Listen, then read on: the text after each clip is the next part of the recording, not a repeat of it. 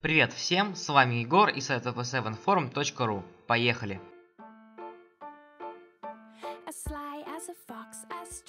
Первая игра на сегодня называется Turn and Run. Главная фишка игры – применение пространственного мышления в 2D и 3D мирах.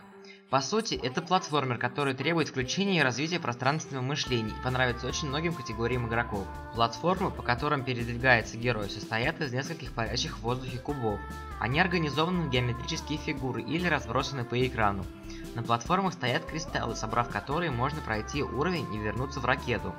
Если пришелец может добраться до кристаллов из текущего 2D вида, то они отображаются в красном цвете, а если для сбора кристаллов нужно изменить вид, то кристаллы серые. Кнопка в правом верхнем углу экрана – это переключатель между 2D и 3D видами.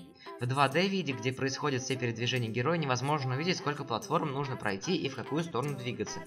Пользователь может провести пальцем по дисплею и увидеть игровую ситуацию в новом свете, поняв, как действовать. Игра интегрирована с Xbox Live и стоит 34 рубля.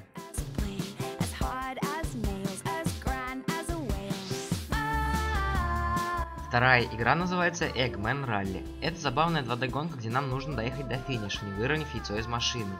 Здесь можно изменять настройки своего автомобиля на свой вкус. Если вы что-то сделали не так, то игра подскажет вам, как сделать лучше.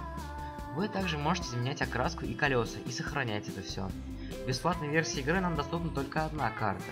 Стоит отметить, что вы не сможете жать только на газ, потому что карты, ну, действительно интересная. А в таблице можно увидеть десятку топовых игроков, которые прошли эту карту быстрее всех. Игра не интегрирована с Xbox Live и стоит 34 рубля. As warm as the sun, as silly as fun, as cool as a tree, as scary as the sea, as hot... И последняя игра называется Paper Highway. График выполнен в стиле Delton the Awesome, то есть мы едем на рисованной машинке, порисованной на клеточном листке дороги. Менюшка выглядит тоже очень забавно. В игре вы должны объезжать другие машины, и если нажать на дисплей, то машина начнет ускоряться. Управление осуществляется с помощью акселерометра. Игра бесплатна и не интегрирована с Xbox Live.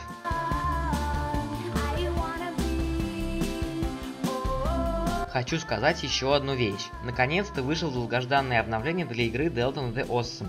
Теперь у нас есть больше возможностей для расправы с зомби. Это джетпак, калаш, танк и многое другое. Это все, разумеется, можно улучшать, и также есть теперь новый набор карт. И игра стала платной, к сожалению. Ну, на сегодня все. Всем удачи, пока.